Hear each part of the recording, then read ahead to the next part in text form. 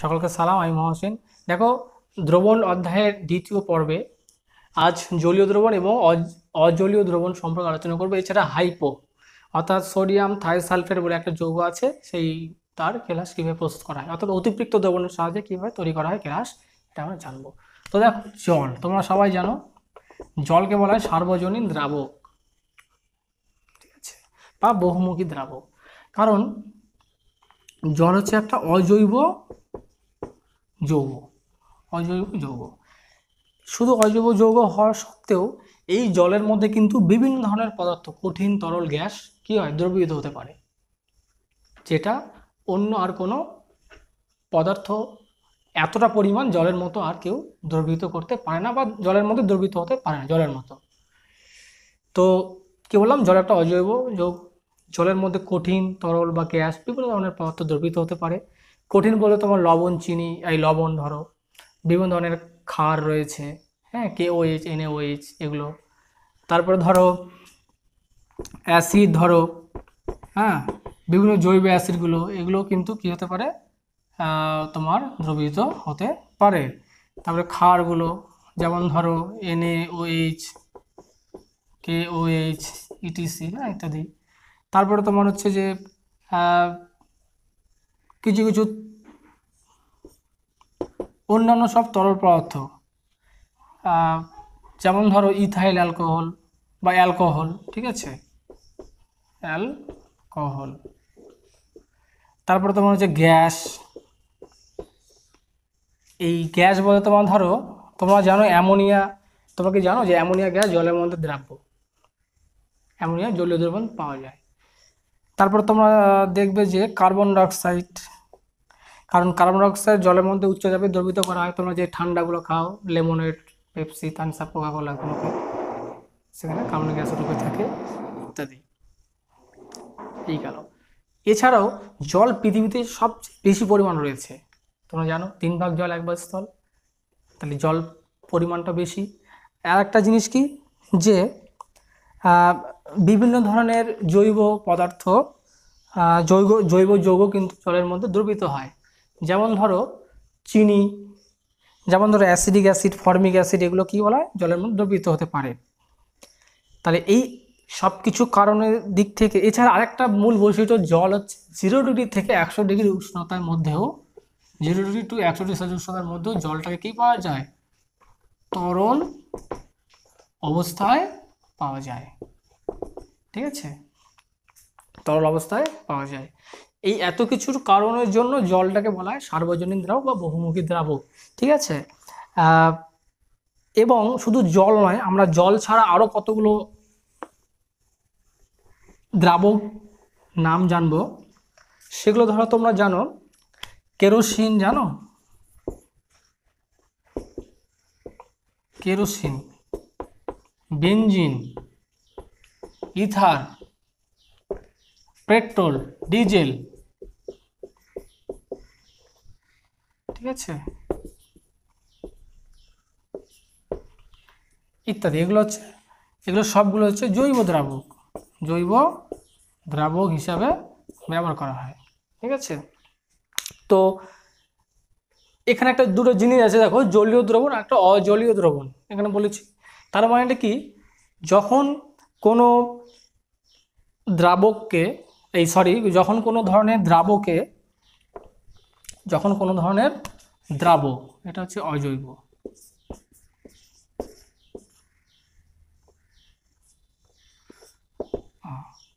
আচ্ছা যখন কোনো দ্রাবককে আমি কি জলের সঙ্গে দ্রবীভূত করব? দ্রাব। এই দ্রাব। তখন যে দ্রবণটা তৈরি হবে, সেটাকে আমরা বলব জলীয় দ্রবণ। আর যখন জল ছাড়া অন্য কোনো দ্রবণের সঙ্গে যখন কোনো দ্রাবককে আমরা কি করব? যুক্ত করব। তখন যে দ্রবণ ধরবে সেগুলোকে বলব অজলীয় দ্রাবক। তাহলে জলীয় দ্রাবক, অজলীয় দ্রাবক হয়ে গেল। এবার দেখো হাইপো হাইপোর হচ্ছে, তোমরা এগুলো জানো যে সম্পৃক্ত দ্রবণ সম্পৃক্ত দ্রবণ আছে, তার সাথে যদি আমরা অতিরিক্ত দ্রাব যোগ করি, সম্পৃক্ত দ্রবণটা আছে, তার সঙ্গে অতিরিক্ত আরও দ্রাব যোগ করলাম, তাহলে সেটা হয়ে গেল তখন আমার অতিপৃক্ত দ্রবণ হবে। তখন হয়ে যাবে আমার অতিপৃক্ত দ্রাবণ। তো এখানে দেখো, একটা অতিরিক্ত দ্রবণ থেকে আমরা তোমার কি করব? ওর কেলাসটাকে আমরা মানে বের করব। এর সঙ্গে একটু বলা যেতে পারে যে কেলাস জিনিসটা কি? আর একটা হচ্ছে কেলাস জল। ঠিক আছে?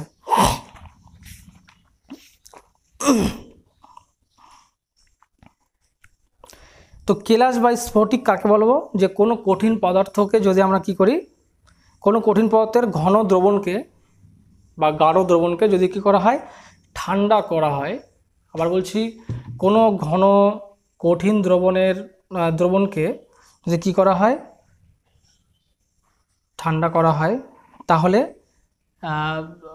ওই যে কঠিন পদার্থের অণুগুলো কি হচ্ছে পরস্পর পাশাপাশি থেকে ঘন শূন্য বিশিষ্ট হয়ে যায়। ঘন শূন্য বিশিষ্ট হয়ে একটা নির্দিষ্ট জ্যামিতিক আকার বিশিষ্ট একটা মানে পদার্থে বা বস্তুখণ্ডে পরিণত হয়।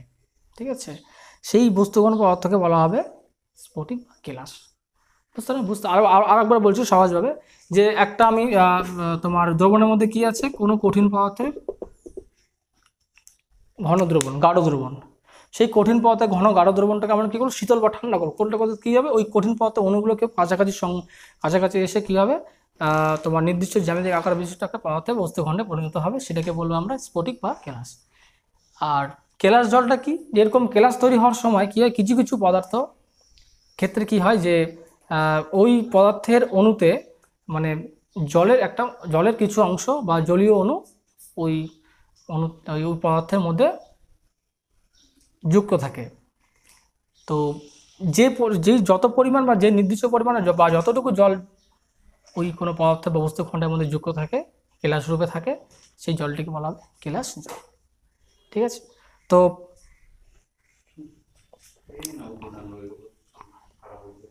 লাস্ট একটা অংশ রয়েছে যে হাইপো বা কেলাস, এই হাইপোর হচ্ছে সোডিয়াম থাই সালফেট এটা তোমাদের এর পরের ভিডিওতে আমি আলোচনা করব। আজকের এই অবধি ভিডিও দেখা হবে পরের ভিডিওতে সকলকে সালাম ও শুভেচ্ছা, আমি মহসিন।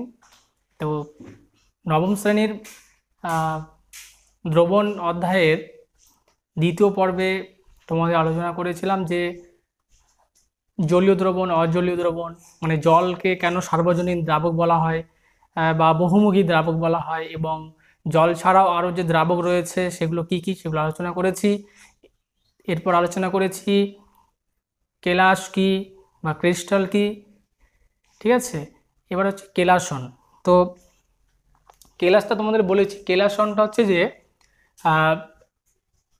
কোনো কঠিন পদার্থের এটাও কোনো কঠিন পদার্থের তোমার ঘন জলীয় দ্রবণ থেকে যদি আমরা কি করি, ওই দ্রবণটিকে ঠান্ডা করি বা ধীরে ধীরে শীতল করা হয়, তাহলে দেখব যে কঠিন পদার্থটির একটা তোমার নির্দিষ্ট জ্যামিতিক আকার বিশিষ্ট কণা উৎপন্ন হবে বা জ্যামিতিক আকার বিশিষ্ট যে পদার্থ উৎপন্ন হবে সেটাকে বলা হবে, সেই পদ্ধতিকে বলা হবে কেলাস পদ্ধতি। তার মানে কেলাস তৈরি করার যে পদ্ধতি এক কথায়, সেই কেলাস তৈরি করার পদ্ধতিকে বলা হবে কেলাসন। অর্থাৎ যে পদ্ধতিতে কোনো কঠিন পদার্থের ঘন জলীয় দ্রবণ থেকে কেলাস তৈরি করা হয়, ওই পদার্থে সেই পদ্ধতি বা প্রক্রিয়াকে বলা হয় কেলাসন। দেখো হাইপোর কেলাস পদ্ধতি তোমাদের একটা শুধু জানাব। হাইপো এটা হচ্ছে সাধারণ নাম।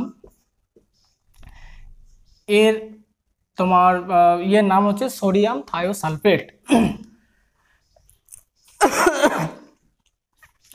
সংজ্ঞা হচ্ছে N A two S two O three এর সাথে হবে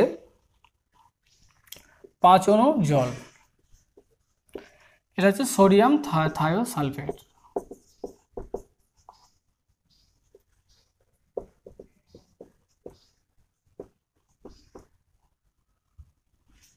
ঠিক আছে?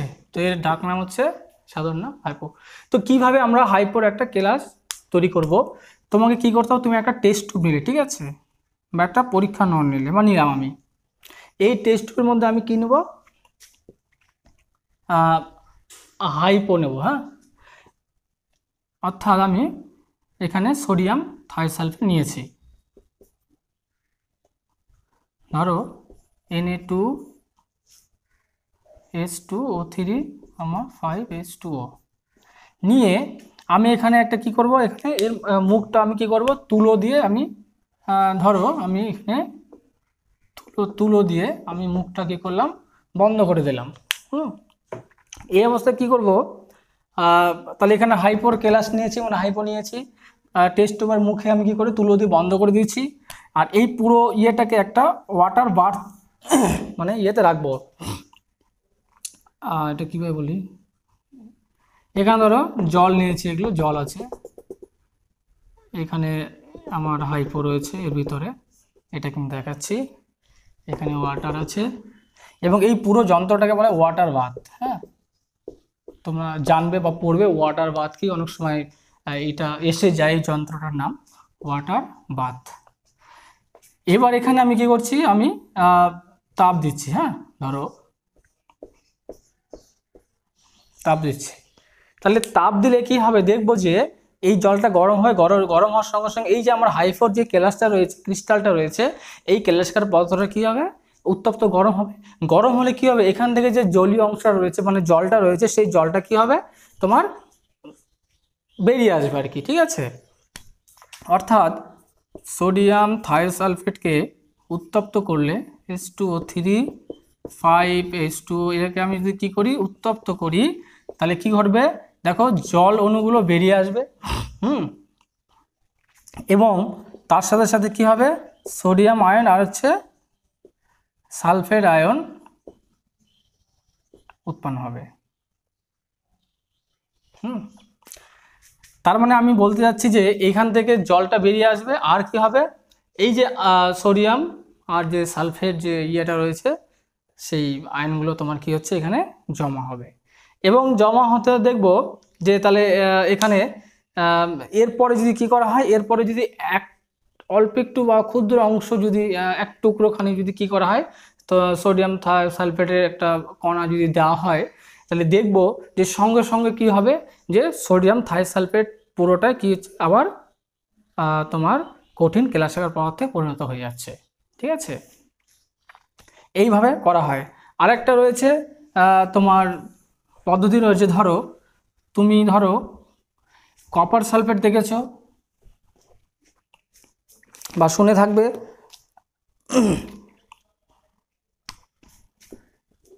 একটা টেস্ট টিউবে বা একটা ইয়েতে তোমার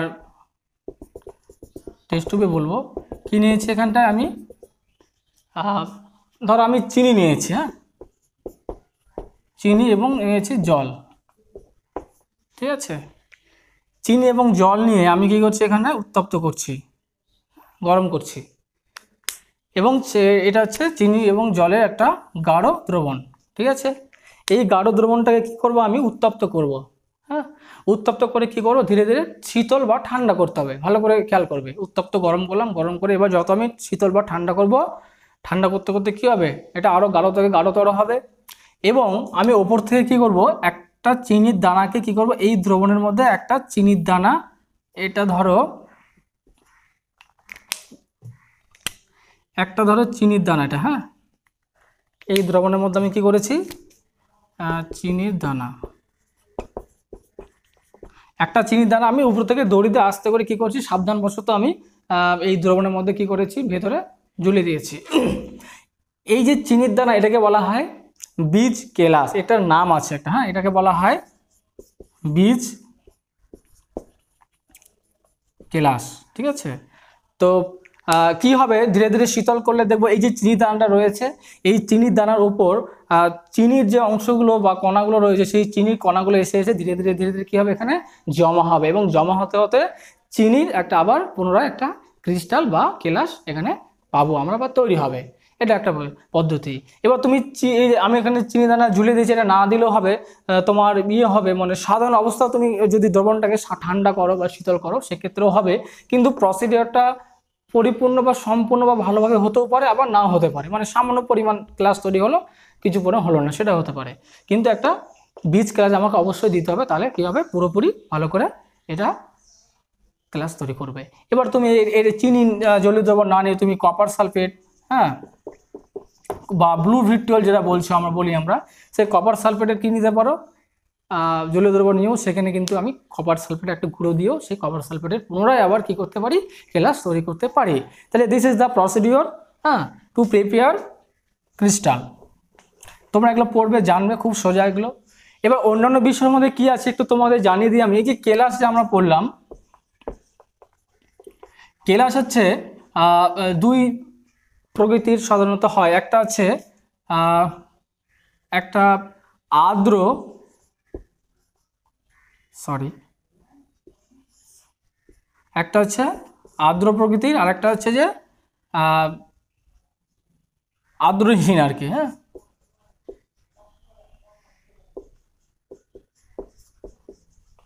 আর্দ্রহীন। তার মানে কি? একটা আর্দ্র প্রকৃতির কেলাস আর একটা আর্দ্রহীন। মানে আর্দ্র মানে হচ্ছে যেই যে কেলাসের অণুতে জলের অণু থাকবে। আর তোমার আর্দ্রহীন মানে যেখানে জলের কণা বা জলের অণু থাকবে না। এটা হচ্ছে এখানে বোঝাচ্ছে।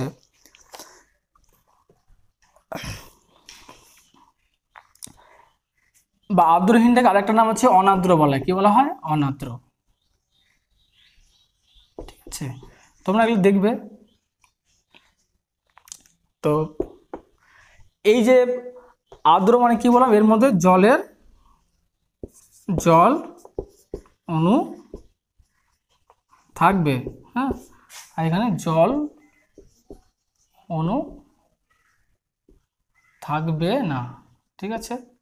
আচ্ছা যেমন ধরো দেখবে তোমরা যে আর্দ্র কেলাস পথ কোনগুলো? যেমন ধরো কপার সালফেট যেটা উদাহরণ দিলাম C U S O four আর ফাইভ এইচ টু ও ঠিক আছে কপার সালফেট এই কপার সালফেটটা সাধারণ অবস্থায় কীরকম জানো? সাধারণ অবস্থা তোমার একটু নীল বর্ণের হয় হ্যাঁ? একটু নীল বর্ণের, এটাকে নাম বলা হয় ব্লু ভিট্রিওলও বলা হয়। এবার এই কপার সালফেটকে যদি তুমি কি করে একটু উত্তপ্ত বা গরম করো, তাহলে এখান থেকে জলীয় অণুটা বেরিয়ে যাবে, বাষ্পীভূত হয়ে যাবে বা বেরিয়ে যাবে এবং copper sulphate copper copper sulphate শুধু পড়ে থাকবে।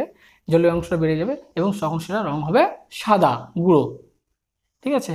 আরও রয়েছে তোমার ফটকিরি বা ফিটকিরি যেটা আমরা বলি যেটা সেলুনের দোকানে রয়েছে বা থাকে, দাড়ি কাটার পর যেটা মুখে দিয়ে দেয়। বা ধরো, এমন হতে পারে, ওটার আরেকটা নাম আছে হ্যাঁ?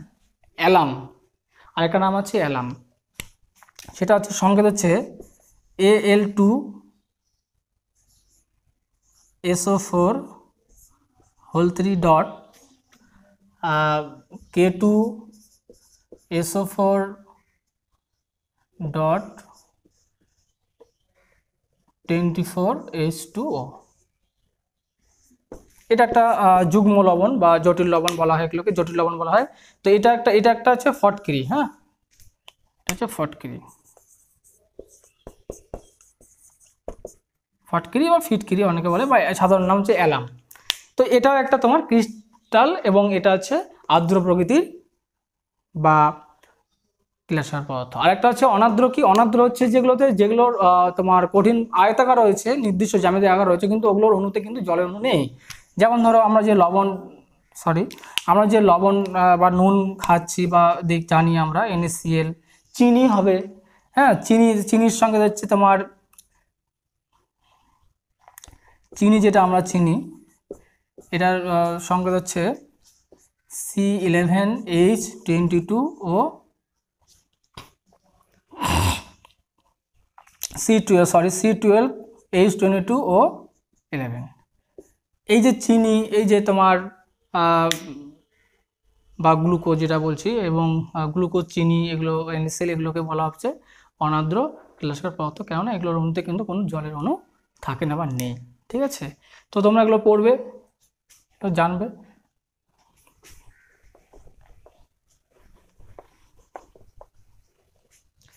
তো আজকের ভিডিও এ অবধি।